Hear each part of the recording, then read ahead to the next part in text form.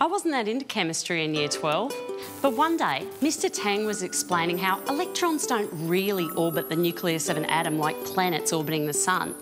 They're whirring around the nucleus in this cloud, but we've got no way of knowing exactly where they are at any one time. He said it was kind of like a ceiling fan. When it's spinning really fast, you don't know where the blades are, but if you stick your hand in there, you're going to lose a finger. And I was hooked. The idea that science can let us imagine and understand things that we can never see, I was drunk with power. I was inspired. But what if I'd missed school that day? Isn't inspiration too important to be left to chance?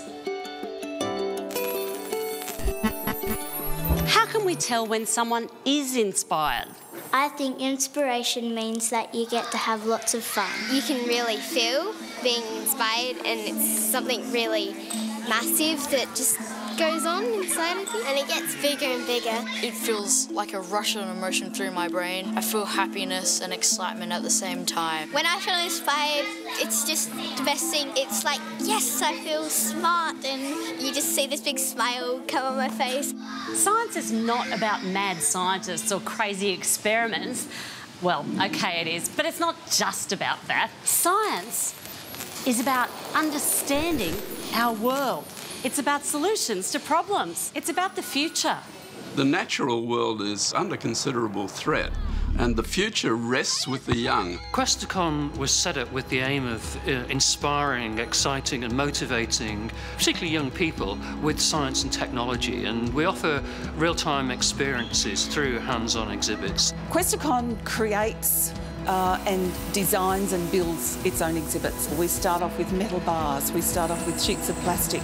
Out of all that, we create the wonderful, bright, coloured, attractive, interactive, durable exhibits that you see at the centre. I just love seeing the kids playing with the various gadgets and having fun with it. And maybe as you look at them, sometimes you see a light go on. I'll call them the you know, eureka moment where you see the lights switch on. I think I've had that experience myself at Questacon. The future's in the hands of these young people. But what if they stop asking questions? Why? What? How? How? Why? Sometimes after a show, kids will come up to us and they'll, they'll ask us a question. When they come up and, and, you see that look in their eyes where they're, they're hungry for more knowledge, you know you've really gone through to them. Once we start explaining something, there's that trigger effect and it's sort of that like, like a little switch goes off in their Hmm. heads. We know one thing, kids aren't often excited by homework, textbooks or chalk dust. They like to do stuff. Children learn through playing and having fun. If you make something fun, then kids aren't going to realise that they're learning. They're just going to absorb it like a sponge. The discoveries that change our lives are the ones we make for ourselves. So, inspiration depends on experience. We do a lot of science shows, we do a lot of workshops, and we, we do that work here in Canberra, but we also do it through our outreach programs, travelling right across Australia. This is a big country. We can't let experience depend on location, so you come to us or we'll come to you. Shell's been involved with Questacon now, uh, sponsoring the Science Circus for almost 25 years.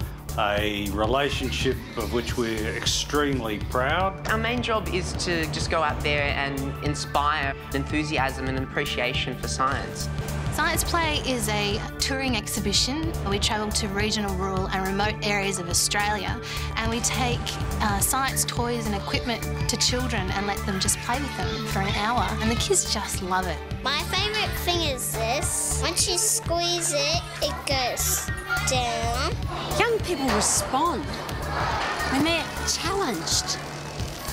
If they're not talking or laughing or squealing, it's not working. We're inspired by, by what we enjoy. It's really important to inspire students that they can do these things, they can come up with new innovations. The people from Questacon have given us the chance to do something with our ideas and make them evolve. We find that the students get to see some things that people around Australia are doing that are innovative. It expands what they get exposed to in their local community. I think my students have discovered that science is really fun. They'll look forward to having science lessons. What if we don't leave the excitement and challenge of science to chance? We can bring science to young people so they're hungry for more. We know we can.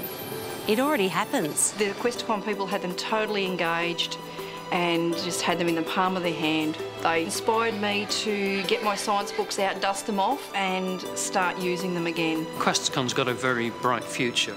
Science centres will always play a role in interpreting and communicating the joy and the love of science. Questacon appealed to us because of its focus on science, its focus on education. All of those are really important for the nation. Today I was really inspired. If you're lucky enough, you might get to go up and go into the future. If we're going to have a bright future for human beings, then we need young people to engage with all the things that science stands for. You actually get to do things that are in science like gravity, friction. And it's awesome.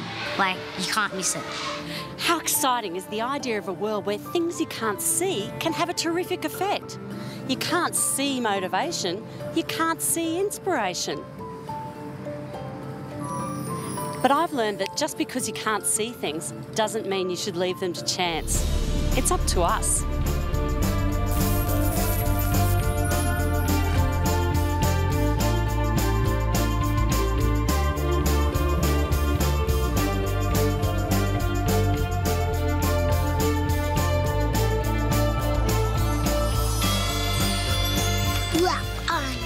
com.